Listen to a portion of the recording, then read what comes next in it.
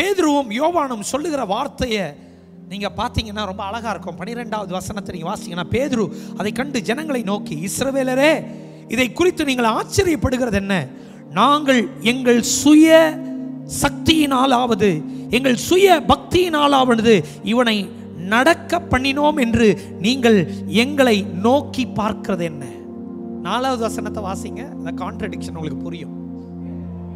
பேதுருவும் யோவானும் அவனை உற்று பார்த்து எங்களை நோக்கி பார் அப்படின்றார். இங்க கேட்கிறார் எங்களை நோக்கி பார்க்கிறது என்ன? கான்ட்ரடிக்ஷன்ல பேதுரு தன்னுடைய வாயினால தான் சொல்றாரு என்னை நோக்கி பார். இங்க சொல்றாரு எங்களை நோக்கி பார்க்கிறது என்ன? உடனே ஒண்ணு நீங்க புரிஞ்சுக்கணும்.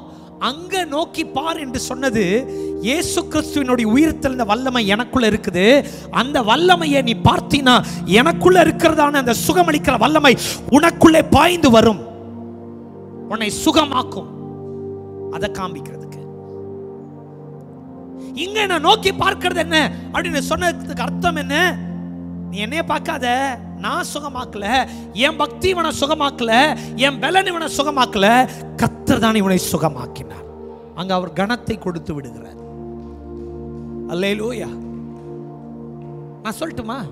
ஆண்டவர் எங்க மூலமா தான் உங்களை சுகமாக்குவார்? அதுல சந்தேகமே கிடையாது.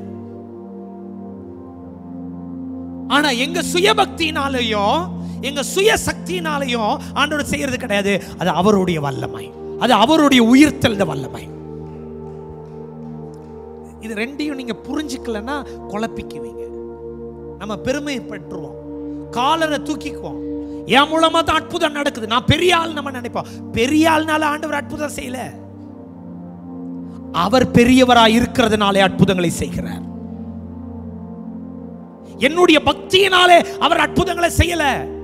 அவர் கிருபையினாலே அற்புதங்களை செய்கிறார். அல்லேலூயா. என் பலத்தினாலே அவர் அற்புதத்தை செய்யல. அவருடைய ஆவியானவருடைய பலத்தினாலே அந்த ஆவி எனக்குள்ள இருக்கிறதுனாலே அந்த ஆவி என் மேல் நிழலிடுகிறதுனாலே அந்த ஆவி எனக்குள் இருக்கிறதுனாலே அந்த அற்புதம் நடக்கிறது.